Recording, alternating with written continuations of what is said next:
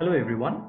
In the previous lecture, we were discussing about the polynom polynomial solution forms to the biharmonic equation and at the end we were discussing about uh, generating solutions of practical interest uh, in some real problems.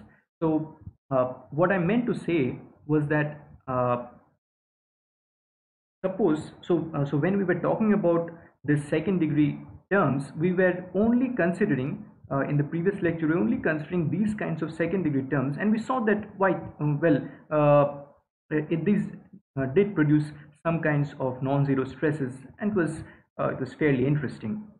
But what i meant was uh, suppose we had some combinations of loads which would which would not be individually satisfied by only these cubic terms by or by only uh, this second degree terms. What then? Could we possibly combine them? Okay so that is the question. So it turns out that there is indeed such a principle which we can follow. So this is the principle of superposition which very much holds true here. Okay so the principle of superposition.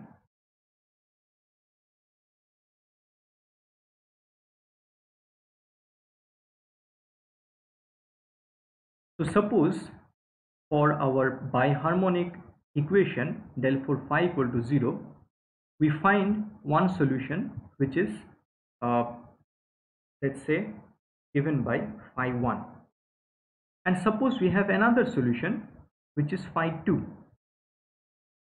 Now let's say phi 1 is of some second degree. And let's say as a specific example phi 2 this is of third degree what the principle of superposition tells us is that because our biharmonic equation is a linear equation, okay, so please do not confuse yourself with the degree and the order of this biharmonic equation. It is true very much that the order, okay, the order of the derivatives present in this biharmonic equation are fourth, fourth order.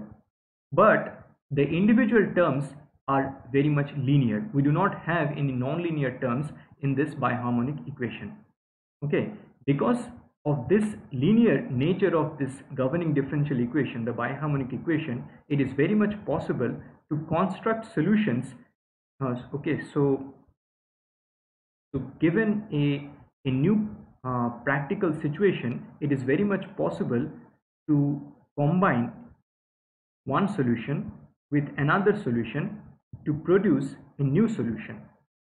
Okay and probably this solution is what is going to satisfy the physical uh, requirements of occurrence of, of, a, of a particular problem. Okay so this is very much important. This only works okay it only works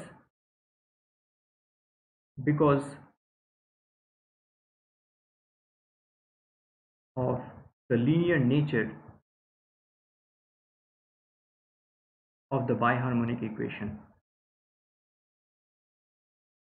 And we will actually see examples of this kind of superposition going on when we actually solve the problems.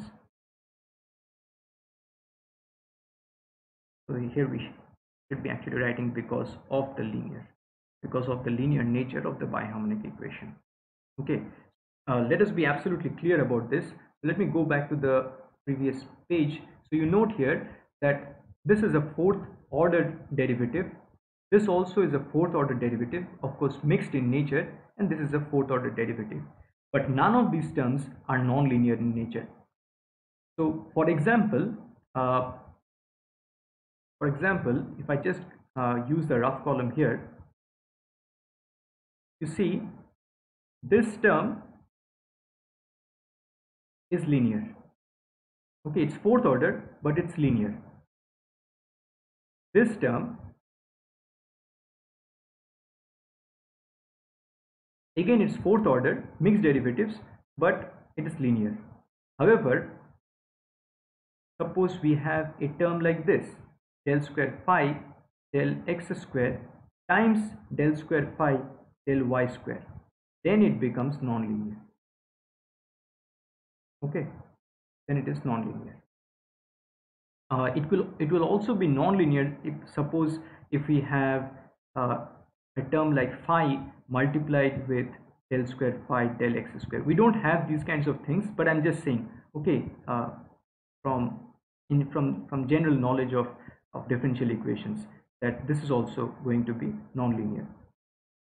Okay or suppose you have del phi del x times del phi del x that also will contribute to the nonlinearity.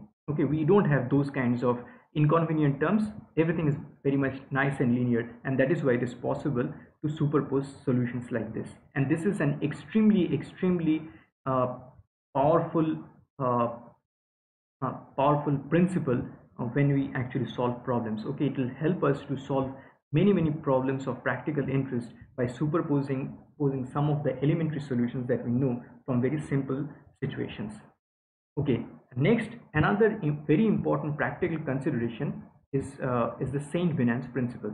So for that let, let me go to the next page.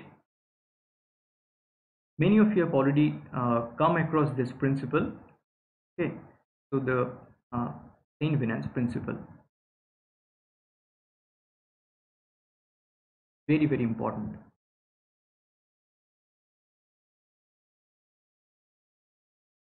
and for that let me take a concrete example. So suppose we have this kind of a situation. As we have already found out when we took the second degree terms okay let me just go back to that page when we are considering the second degree terms. So we had this thing okay. Now as a very simple special case you forget or you consider that we don't have this a11 term. So let's set a11 equal to 0 a2 uh, uh, to 0 equal to 0 and let only the a02 be non-zero. Okay so what we what we are doing is we are saying that phi let it be just a02 y square. So as a result what this is going to give us is sigma xx is equal to twice a02 that's it a constant sigma yy equal to 0 and sigma xy is also going to be equal to 0 so what is this solving so uh, so it sounds a little bit weird to ask like this that we are finding a solution and then we are looking at uh, at the at the physical problem which which which it might solve but that's that's the way to think about uh, about things when you're uh, approaching problems using the Airy stress function. So first you find a solution and then you try to look for appropriate problems uh, which it is solving. Okay, so uh, you understand that uh, the sigma x is a constant basically means that you have a situation like this. So this is your uniform loading. Okay, so perhaps if A02 is uh, is positive then, then what we have depicted through this kind of tensile nature of the loading that's perfectly fine however uh, suppose instead of this suppose instead of this we have a more uh, more realistic scenario which we come across often in our undergraduate studies uh, where you have this kind of a rectangular domain maybe a beam or something and where the loading is not actually applied in such uniform nature or by in such uniform manner rather it is given like this. Okay this is very very common. We have we have drawn this diagram innumerable times in your undergraduate days. Okay so this is a like a pure tension case uh, depicted by this kind of point loading. Okay what then? Is it perhaps possible to say that the that the solution to this problem also is given by this? So your immediate answer should be no. Okay so this problem and this problem are not exactly the same thing. There is a very much a difference between a uniform loading and this kind of point loading right? Now the good thing here is that according to the saint venant's principle so what he what he said was that yes this is very much true that uh, these the stresses that are generated in this case and the stresses which are generated in this case they are going to be different. Fine. But actually the difference is only going to show up only near the very very near to the point of loading. So if you if you actually zoom into this zone if you zoom into this zone then you will find that certainly the stresses which are here which are actually mathematically uniform and here not uniform. Okay there it's going to be very high stress in this very low stress here very low stress here. But suppose suppose and this is what saint venant's principle okay the heart and blood of saint venant's principle is is that if you stay away from these ends okay if you stay away from these ends okay if you if we just stay away from the ends then for all intents and purposes the the the stress field which you will find for this kind of a problem and this kind of a problem is the same is the same as long as the loading here and the loading here they are statically equivalent. Okay so what i mean to say is suppose it so happens that this is some kind of a sigma xx value and this is some tension t. If it happens that t is equal to sigma xx dA over this entire area okay over this entire area if this kind of thing is true and of course this is a centric loading so that you do not uh, you do not end up with any any bending moments here okay. You do not have any bending moments here uh, nor should you have any bending moments here. So only then you, you can say that this case is statically equivalent to this case okay.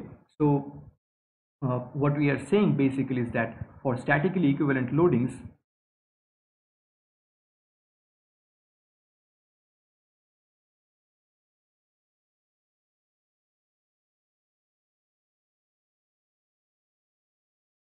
the stress field is going to be the same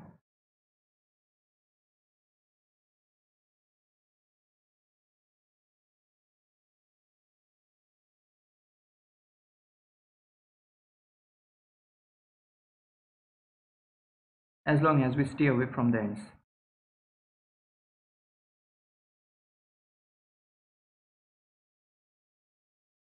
So I have written this in a in a very utilitarian fashion. What I mean from uh, from the ends is what I implicitly mean from the ends here is that uh, you you stay away from those ends or from those zones where the load is being actually applied. Okay, as long as you stay away from those zones, you'll be safe.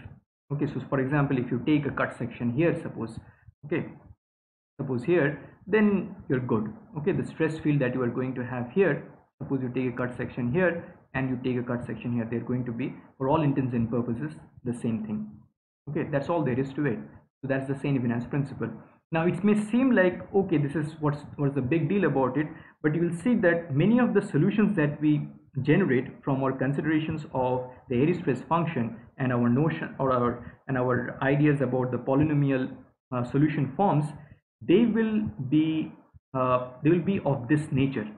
Okay which are uh, which are not uh, which are not so commonly uh, like practically done practically done is this kind of a thing okay uh, so in order to go from a practically applied load nature to this kind of a load nature which you actually require for your uh, for your Airy stress function approach uh, there the missing link is this Saint-Venant's principle.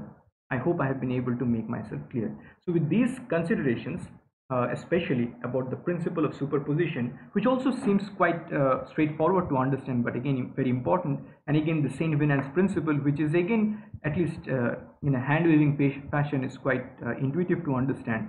Uh, so based on these things, and some clever applications of the of various combinations of this of the the stress functions uh, we can go on to solve some problems. All right so with this i will end this part of the lecture. Thank you very much